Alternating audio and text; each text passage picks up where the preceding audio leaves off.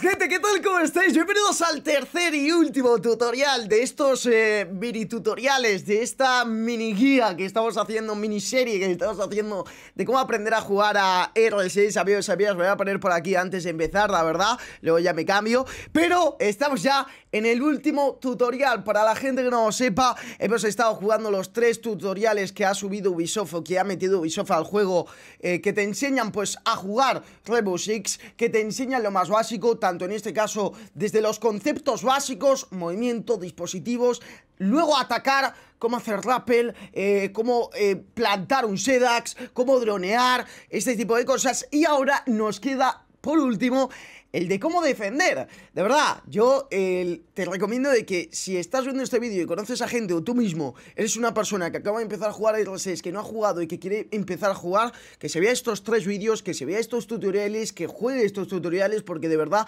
va a aprender muchísimo. Ubisoft se ha molestado en hacerlos, la verdad que están muy bien hechos y sinceramente yo creo que merecen bastante la pena. Así que sin más dilación, deja un like, una suscripción, comparte este vídeo y eh, vamos a dar de caña. Hola otra vez, agente. Este es tu último entrenamiento antes del despliegue. Efectivamente, mira. la victoria desde el bando defensor. Tu objetivo es el contrario que al atacar. Ahora defiendes las bombas hasta que se acabe el tiempo o hasta que elimines a tus oponentes. En esta ocasión serás Bandit. Su habilidad especial te ayudará a reforzar tu posición. Empecemos. Maravilloso. Me parece. Vamos allá. Lo primero es lo primero. Colocar defensas es clave.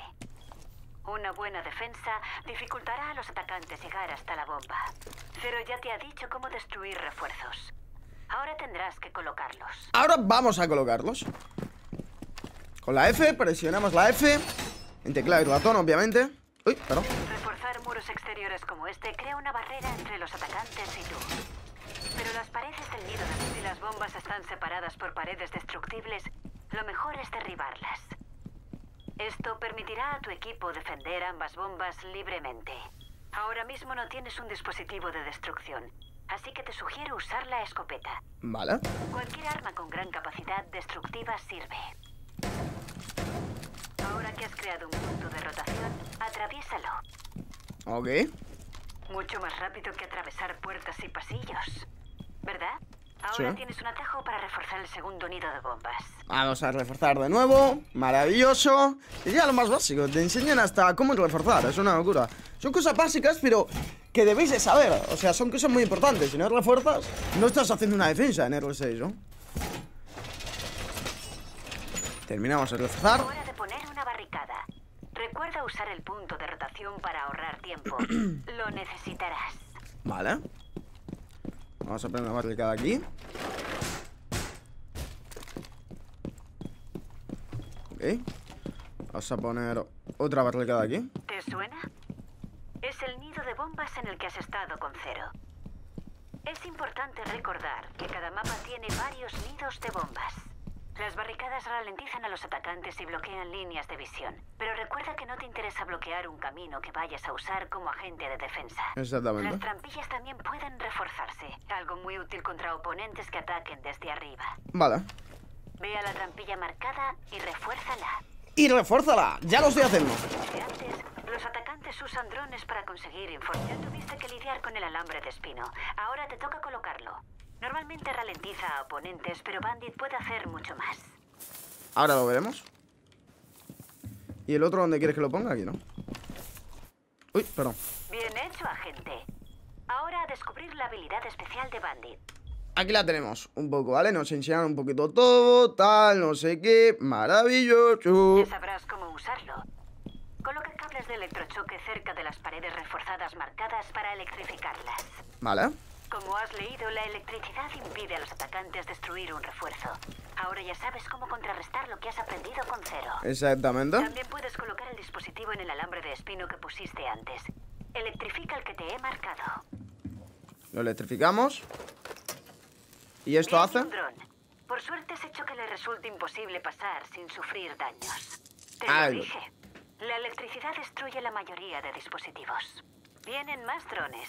Destruyelos todos. En la fase de preparación puede haber hasta cinco. Ya has terminado de montar las defensas. Prepárate para al ataque enemigo. Venga. Ve hasta el ping, túmbate y comenzará la fase de acción. Nos preparamos, chavales, va. Nos preparamos, fase de acción. En la Vamos. fase de acción, las herramientas de observación defensoras te ayudarán a localizar e identificar atacantes para preparar tu estrategia. Estás en un lugar relativamente seguro, así que cambia las herramientas de observación. Vale. Con cero probaste a destruir cámaras de observación, pero ahora las vas a controlar. Podrás moverte por todas ellas siempre que no sufran daños. Aparte de las cámaras de seguridad, los defensores pueden desplegar otras. Elige la cámara antibalas. Vale. Las cámaras antibalas son un dispositivo un poco más avanzado que las cámaras de seguridad normales. Pueden ver a través del humo y disparar pulsos electromagnéticos para desactivar dispositivos electrónicos. Usa uno contra el dron que acaba de entrar. Buen trabajo. Toma. Las herramientas de observación permiten marcar información útil igual que los drones. Marca esa ubicación. Ahora marca el dron que acabas de desactivar. Vale. Genial. Hora de identificar a los atacantes. Muévete por las herramientas de observación e intenta encontrar a todos. Dos. Estos están aquí. Otros dos. Parece que están Y cinco. Increíble. ¿Puedes verlos? Sí, los veo. Uy, Ahí están. Han activado el SEDAX. Tendrás que detenerlos. O elimina todos los objetivos antes de que desactiven por completo la bomba. Mira la cuenta. Maravilloso. Todos los objetivos han sido eliminados, pero la desactivación de la bomba sigue su curso. Hay que defusar, chavales, acordarse. Pueden ganar. Hay que Defusa. defusar, acordarse, chavales. Si no defusamos, se pierde. Si no defusamos, se pierde. Esto es el Padre Nuestro. Ahora vamos a perder por imbéciles. No, no vamos a perder. Pero, eh, si no se defusa, se pierde. Si plantan, aunque te cargues a todo el equipo, si no de defusa, se pierde. Listo para el combate, agente. Y amigos, amigas, este es el tercer y último tutorial ya completado, ya cumplido.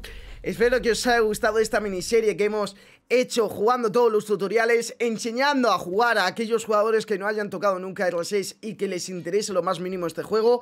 Ya sabéis que un like y una suscripción se agradece muchísimo y repito, pásale esta miniserie, pásale estos tres vídeos a aquella persona que tú creas que lo necesite porque la verdad que son tres tutoriales muy buenos. Desde aquí, aplausos a Ubisoft porque la verdad se la han sacado muy fuertemente, o sea, eh, sí que es cierto que el juego ya tiene 8 años y esto debería haber llegado antes, las cosas como, como son, pero bueno, mejor tarde que nunca yo creo, así que no está nada mal. Eh, y repito, un like, una suscripción se agradece. Cualquier duda abajo en los comentarios os estaré leyendo y os, y os estaré respondiendo. Un placer y nos vemos en la próxima. Muchas gracias. Chao, chao. Adiós, adiós.